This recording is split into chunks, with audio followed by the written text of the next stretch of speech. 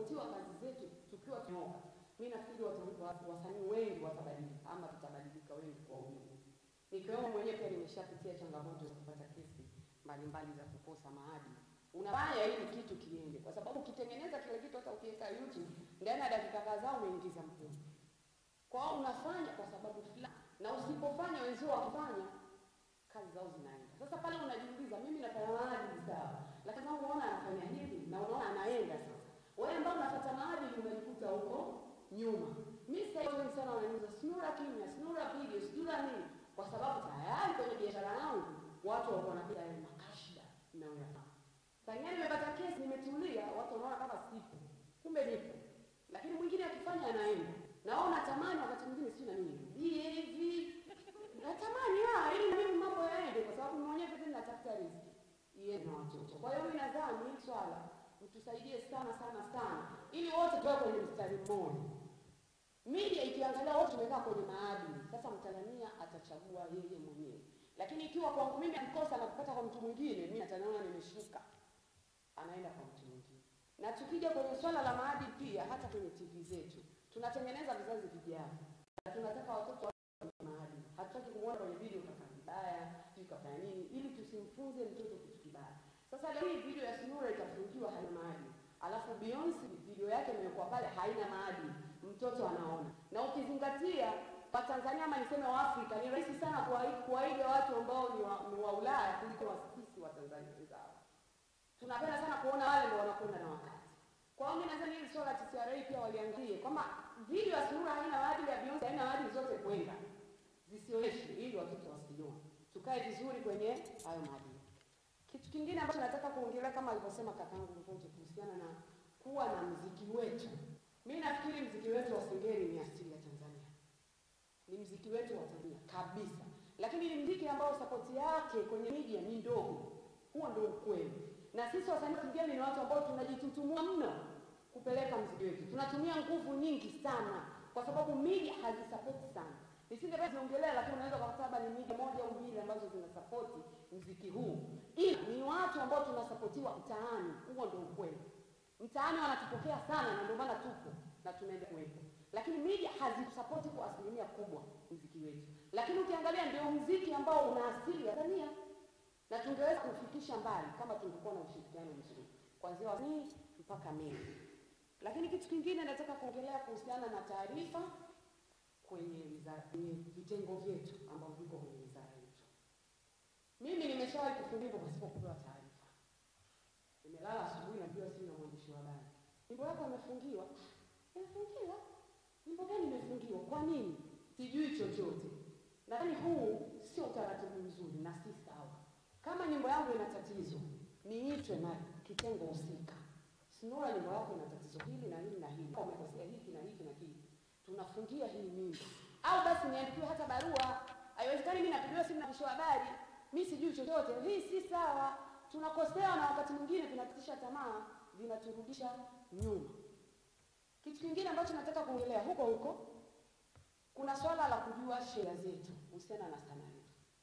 Mimi nilipopata kesi yangu ya chura ndio nilifahamu baadhi ya vitu, lakini kwa yule ambaye hajapata kesi anaweza mpaka sasa akawa hajui sheria inatutaka tufanye nini? Kwenye kuacha nyimbo ama video. pili ni nafasi nzuri sana ya kufanya semina tuweze kueleweshwa kwa mziki wetu audio unatakiwa ufanye hiki kwanza, fanye hiki, ufanye hiki.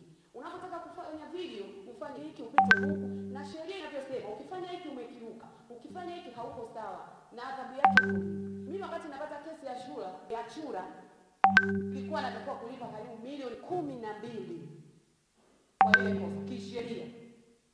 Ni kitu ambacho sikukifahamu hata wakati natengeneza, na wasanii walikuwa wafahamu, sababu watu kuanzia kameramani mpaka wale waliocheza mpaka mimi mwenyewe tulikuwa kumi na mbili kila mmoja ni kitu ambacho msanii lazima awe anavijua hivyo vitu.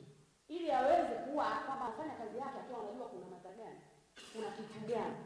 Lakini pia kuna tatizo lingine, swala la kibali. Baada ya kuijua sheria, nilikuwa kwamba nikitaka kufanya video lazima uende kuchukua kibali cha kukuruhusu wewe kufanya video bodi ya sinema.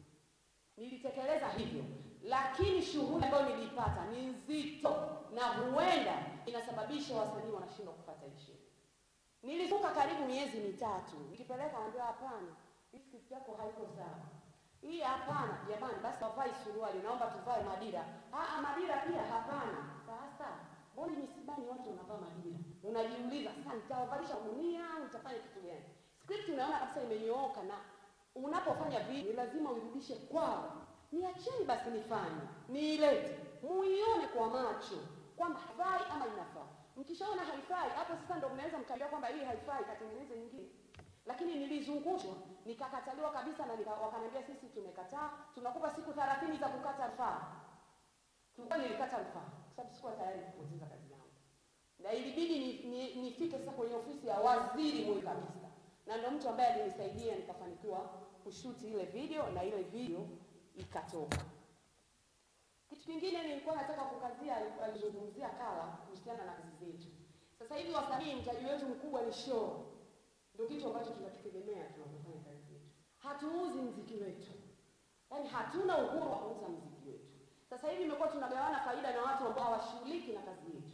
Unaingia studio, una rekodi, unakwenda unafanya video, unafanya kila kitu. Ukishaiachia yeye yuko nyumbani tu shinaka na kusubiri wewe siku utoe nyimbo. Tayari anabana CD, anatengeneza albamu yake ile, anaangalia nyimbo gani kali zimetoka. Kwa hiyo wananufaika watu ambao hawafanyi chochote, wako nyumbani wamelala, wamelala na hizi CD zinauzwa kila siku kila siku, yani watu wanatengeneza anatengeneza albamu kajiachia. Kwa hiyo tunajikuta wakati mwingine hatunufaiki kwa kiasi kikubwa na saa yetu, tumebakisha show, ndio sema ambao kidogo tunapata hiyo riziki.